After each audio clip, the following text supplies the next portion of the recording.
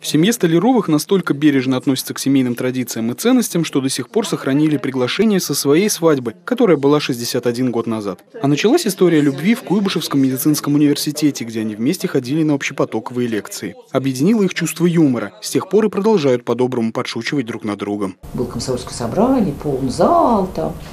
Ну, и мы, как всегда, шутили, перебрасывали записочками, кто кому, девочки, мальчики, мальчики, девочкам. И они там с другом удивились, кто это там еще там с юмором им отвечает. Не просто так из записки. Мы думали, у женщин юмора нет. Они почему-то думали, что они там самые юмористы своим вот э, приятелем. Тоже хирург, кстати. Вот. И вот так вот заинтересовались. В 1961 году Галина Ивановна и Евгений Анатольевич поженились. После университета вместе по распределению уехали в Кинельчеркассы, отработали там пять лет и уже на практике стали профессиональными врачами. Меня честно удивляет, когда не хотят сейчас ехать. Распределения нет. Главное то, что там быстрее становишься врачом.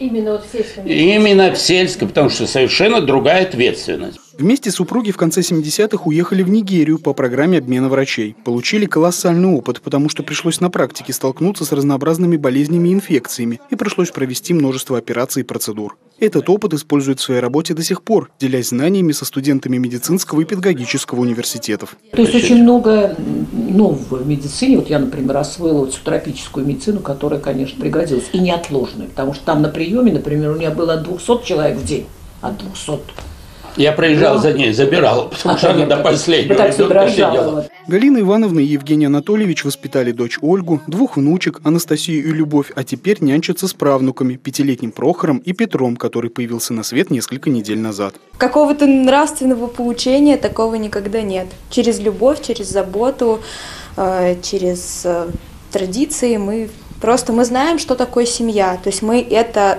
по смыслу понимаем. Для нас это не пустой звук. Евгений Анатольевич и Галина Ивановна – настоящий пример крепкой и любящей семьи, где любовь, уважение и традиции на первом месте, а потому их наградят общественной наградой – медалью за любовь и верность в преддверии Дня любви, семьи и верности. Андрей Горгуленко, Константин Головин. События.